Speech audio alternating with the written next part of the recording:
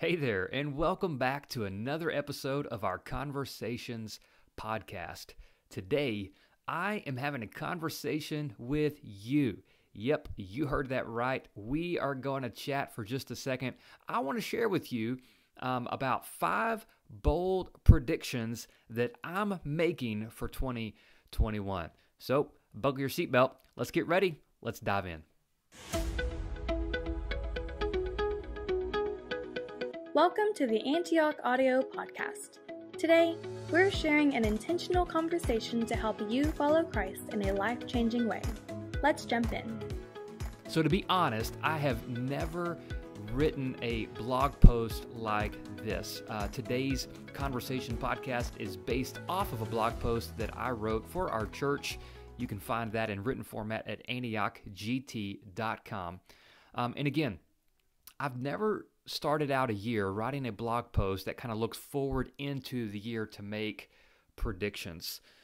But for some reason, I felt like God was uh, laying this particular idea um, on on my heart. Um, I, am not coming at you with some sort of prophetic voice. This is not some sort of you know word from the Lord.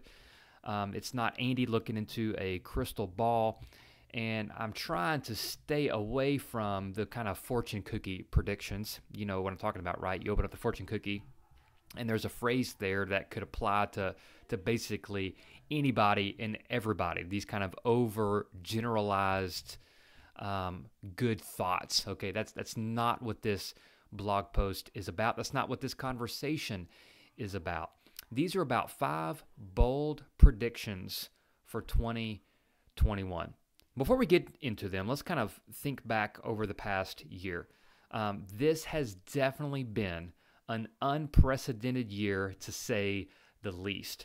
I mean, I, I can imagine uh, years from now, people kind of looking back on, on 2020 and, and saying things like, Remember when it used to be okay to walk into a bank wearing a mask and ask for money?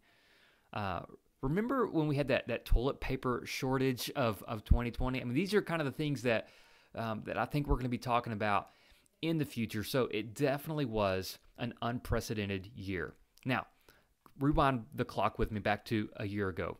I think all of us were um, kind of approaching the year 2020 with great anticipation and enthusiasm. I mean, we were ready for this new year. Not only was it a new year, um, but it was the, the year that was going to dawn a new decade. I mean, 2020 is is uh, the phrase we use for perfect vision. And so we were, uh, I heard a lot of people and organizations talking about how this was going to be the year of, of vision. This is going to be the year where we, where we reach some goals. And then 2020 actually happened. And here's the thing no one saw it coming. no one was expecting it. No one had worldwide pandemic um, global shutdown, stay at home order, cancel graduation, no summer camp, uh, baseball season postponed. No, I mean, no one saw these things coming except God. I want to I want to remind you before we get into to these uh, five bold predictions. I, I want to remind you that that God saw 2020 coming. Um, it did not take him by surprise. And I'm reminded of something that that uh, King David wrote um, in Psalm 139. Uh, and before I read it, I want you to realize that that David knew the feeling of isolation as he was hiding alone in caves. Uh, David knew what despair um, felt like. David understood deep depression.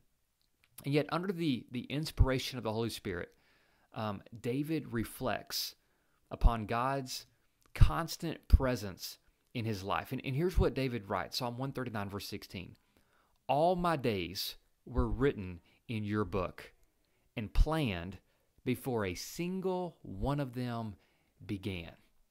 Wow. Isn't that good? That David reminds us that that every single day in our life, um, God knows it. God knows exactly what's going to happen. It's not going to take him by surprise. In fact, try to wrap your mind around around this statement. God knows your future with perfect memory.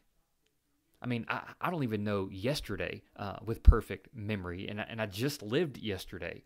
Uh, but God not only knows our yesterdays with perfect memory, God knows our future with perfect memory. And God has a plan, and His plan has perfect purpose. So um, I, I got to start with with that because as we make these um, as I make these five bold predictions for for 2021, we have to do it against the the backdrop of God's omnipotence, His omniscience, and His omnipresence. He's all powerful, He's all knowing, and He is with us no matter what 2021 holds.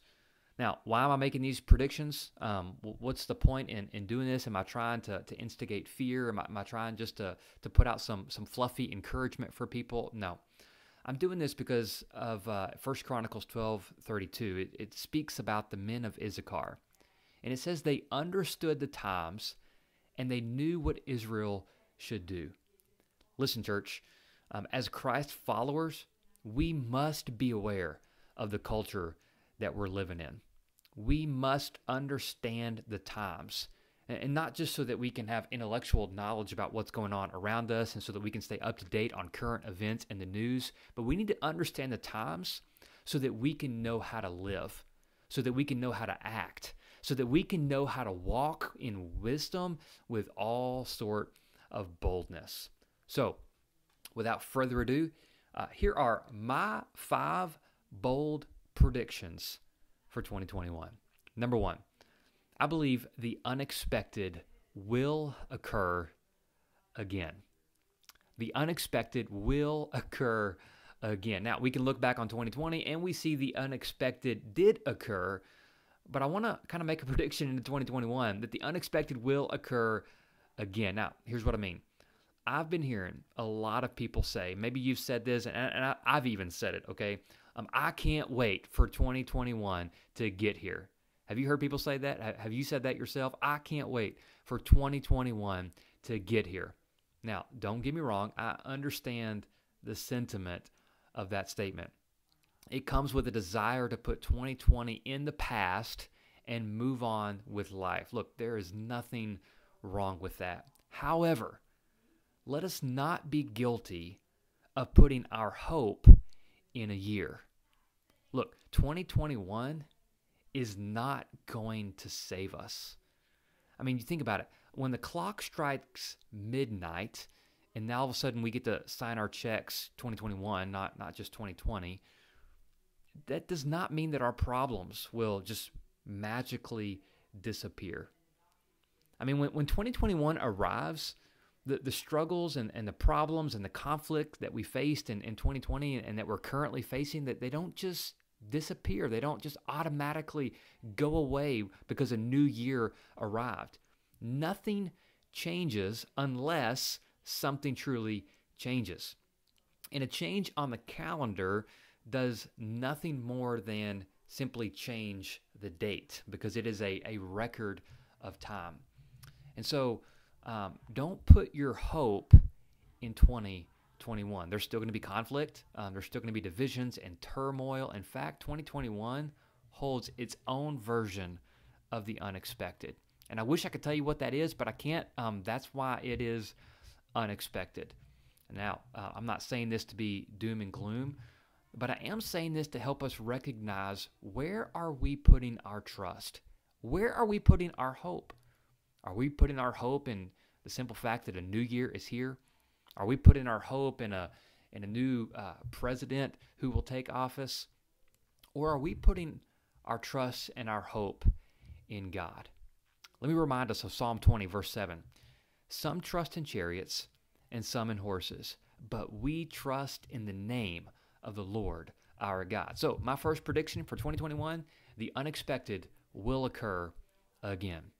My second prediction is this unity among believers will be paramount.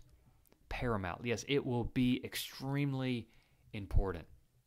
Hey, did you know that Jesus actually uh, very specifically prayed for you the night before he was crucified? Imagine that for a second. Think about it. I mean, Jesus knew what was coming. He was about to um, to walk through the most excruciating, horrifying death that any person could ever experience. And what was he doing the night before? Well, he was praying. and he was praying for you.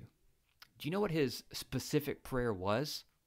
No, Jesus was not praying for your health and your wealth and your safety and security. Jesus was actually praying for your unity with other believers. Hey, there have been issues in 2020 that, um, that have brought about division, uh, and not just between the world and, and Christians, but even amongst Christians ourselves. Um, the world, that's what the world does. Uh, the world brings about division. Um, that's the nature of a fallen and a sinful world. The world only knows how to produce chaos, and it's good at it. It's very good at it. So there's going to be things in 2021 that will potentially divide us, and it's imperative that we as believers, as followers of Christ, live in unity, and not for just our sakes, but for the sake of the world. Listen, your, your salvation is not at stake uh, when, when it comes to unity with other believers, but the salvation of other people is at stake. Jesus prays for our oneness, and he gives us the reason why. He says, so that the world may believe that God sent him. I want you to think about that. Our unity as Christians, as followers of Christ, as believers in the one true God, our unity becomes a witness to a divisive and chaotic world. And so, as more division and more chaos comes into the world, listen, the unity among believers is extremely paramount. Now, that doesn't mean that we have to agree on every single issue, but it does mean that we should love one another with a, with a brotherly love. It does mean that we should stay unified on the things that are important. We should major on the majors and minor on the minors. And so think about that as you as you head into this new year that that unity will be paramount. Number three is I'm making these predictions. Uh, my third prediction is this: your faith will be tested. Hey, my faith will be tested. This coming year, will most certainly provide opportunities and situations for us to practice what we preach, to walk what we talk, and to do what we say. Our faith will be tested. Hey, if, if you're paying attention to, to the news and, and current events and things that are going on all around us, you're going to notice something. What you'll notice is the world is actually becoming more hostile towards Christianity. Now, notice I didn't say Christians. It's not that the world is becoming more hostile towards Christians, but the world is becoming more hostile towards Christianity. Sure, there's a lot of people that, that are claiming that title Christian, but they're not really living out the principles and, and beliefs of true Christianity. Now, just to be clear, the world will gladly accept the love, forgiveness, kind of do unto others version of Christianity. But the world emphatically rejects absolute truth, the reality of the resurrection, and Jesus as the only way. So, what are the implications of a, of a world that is growing more hostile towards Christianity? Well, the implications are that if you're committed to living a life for Jesus, your faith will be tested. It's going to be tested by your neighbors, by your, your coworkers, by people on social media. It's going to be tested by uh, people you know and people you don't know. You'll be hushed, silenced, ridiculed, mocked, questioned. But don't be alarmed when these things happen because you and I, we have a solid foundation in Jesus Christ. We can stand on the authority of His truth, we can stand on the authority of, of God's Word. And so let me remind you as I, as I close out this one, um, what Jesus says in Matthew chapter 10, verse 33. But whoever denies me before others, I will also deny him before my Father in heaven. So know this hey, as you head into 2021, your faith will be tested. My fourth bold prediction for 2021 is this skepticism will increase. Skepticism will increase. Now, sure, there's there's an agenda and, and there's a there's motivation to to try to get people to stop being so skeptical. But my prediction is that skepticism will only continue to increase. You've probably noticed over the past year that it's becoming harder and harder to find trustworthy sources. I mean, who do you listen to? Who's telling the truth? You know, it seems like for, for every expert, there's an equal and opposite expert. Thankfully, we've got big tech to save the day, right? With their fact checking algorithms. Right. Hey, this past year has amplified the skepticism of news, media, politicians, big tech, pastors, yes, even pastors and spiritual leaders. And so the question is who can we trust? Who do we trust? Let me give you kind of two steps. First, we need to understand that people will let us down. Men and women um, that maybe used to be trustworthy will let us down. People can lead us astray. And people can be led astray because of selfish ambition and faulty rationale. And that's why it's so important that we have a plumb line, that we can measure all thoughts and ideas, whether that thought and idea is coming from your pastor in the pulpit or whether it's coming from the news media or whether it's coming from a friend posting on, on social media. We need a plumb line. And the Bible is that plumb line. It's the standard of absolute truth. And so if something does not measure up with the plumb line, we know it's not trustworthy. And so, kind of the second thing next, um, once we're grounded in the truth of God's word, we should ask God plainly and clearly to give us discernment through his Holy Spirit. That's what he promises us, right? That's what Jesus said the, pro- the Holy Spirit was coming to do. He would be our comforter, he would be our guide. And so, as you navigate 2021, use your guide. I mean, God has given you His Holy Spirit within you to be a discerning spirit. And so, when that alarm starts to sound, you start to sense this is a, a yellow flag or, or a red flag, look, don't put that away. Listen to the Holy Spirit um, as He guides you. Psalm 40, verse 4 says this How happy is anyone who puts his trust in the Lord and has not turned to the proud or to those who run after lies. Look, don't turn to the proud. Don't turn towards those who are running after lies, but put your trust, trust in the Lord. Skepticism will increase, but as followers of Christ, we don't have to be skeptical because we can stand on the truth and authority of God's word. All right, here we are. Number five, rounding out my five predictions for 2021. Here it is. The Bible will still be relevant. Listen, I think there's this common misconception that as time goes on, the Bible loses its relevancy. I believe that as time goes on, the Bible actually gains in relevancy, if that were even the case. Look, the Bible has always been relevant, it will always be relevant. And it's not relevant because I make it so or, or because I find some sort of helpful tidbit to guide me throughout my day. Listen very carefully. I am not the central figure in the Bible, and neither are you, because the Bible is not about us. The Bible is about Jesus Christ from beginning to end. It is His story, it is God's redemptive story of mankind. Now, don't get me wrong, the Bible does show us the way. It teaches us how to live, it directs our path, it reveals what unconditional love looks like. The Bible purifies our motive, it sheds light on all of our imperfections. And most importantly, the Bible does point us to Jesus Christ, but we are not the central figure.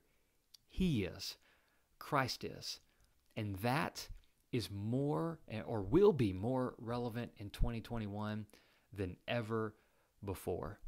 2 Timothy 3:15 says this, "And you know that from infancy you have known the sacred scriptures, which are able to give you wisdom for salvation and faith in Christ Jesus. And so, my prediction for 2021 is that the Bible will still be relevant. In fact, I think it'll be more relevant than ever if that were even possible. We don't have to make it relevant. We just have to read it and understand it and let it guide and influence our everyday life, our thoughts, our motive, and our hearts. So, there you have it. My five bold predictions for 2021. Let me recap them all together and then kind of give you uh, some final action steps. Number one, the unexpected will occur again. Number two, Unity among believers will be paramount. Number three, your faith will be tested. Number four, skepticism will increase. And number five, the Bible will still be relevant. So, what do we do with all this? Do we just take this information and let it kind of stir up some some fear within us or we just kind of hide it? No, here here's why I share these things with you. Because I don't want you to flippantly slide into 2021 holding a handful of hopeful wishes. Look, look wishes are not going to accomplish anything. We've got to understand that there is work to do. There is a spiritual work to do. You have a spiritual calling before you to press on toward the prize of the upward calling that you have in Christ Jesus. And so we must prepare our hearts and our minds for action. And that we must do with purpose and intentionality. It will not happen by accident. We don't know what 2021 truly holds. We do know that God holds 2021 and He has a plan, and every single day is written in His book. And so here are four kind of very small action steps you and I can take. Find joy in the small things, seek wisdom in the big things, pray earnestly in the hard things, and be faithful in the simple things. Hey, I hope this conversation uh, with you today has been a blessing and an encouragement. I hope it's helping you to follow Christ in a life changing way. If it has been helpful, would you consider liking or sharing uh, to people in your network? Network, maybe it'll be a blessing to others. Hey, thanks for tuning in today. I hope you have a blessed week as we close out 2020 and pray God's richest blessings on you in 2021. Take care.